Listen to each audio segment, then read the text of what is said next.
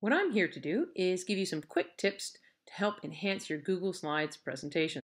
One of the easy things to do, go to the Insert menu, add slide numbers, and typically you choose to skip the title slides. Choose Apply. You don't see a slide number here because we're on a title slide, but as soon as I click through my content slides, in that bottom right corner, you can see the slide numbers.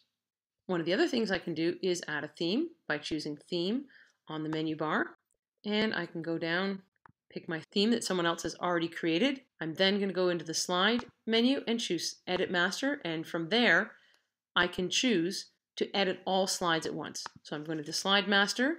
This affects all slides. I'm going to go to the slide titles, choose More. And I'd like to change the font from Oswald to Droid Sans. Something else I'd like to do is I'd like to change the background color. So I can right click, change background. There are my colors.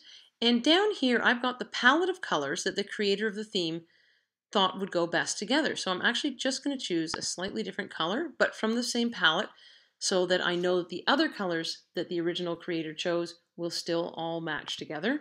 And one other thing I'd like to do is I'd like to add name to a text box on each slide. You can see over here that the background color changed. And now exit the slide master and I can click through. There is my Droid Sans font that I changed. You can see the background changed.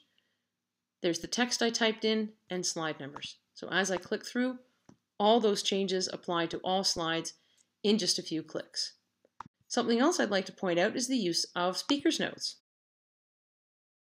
What you should be doing is using the speaker's notes to hold the bulk of your content so that your slides just have basic media in them, which will engage the audience more. In order to use your speaker's notes effectively, you go up to Present, choose Presenter View, and when you click this, you'll get one window with just your slides and another window with your speaker's notes.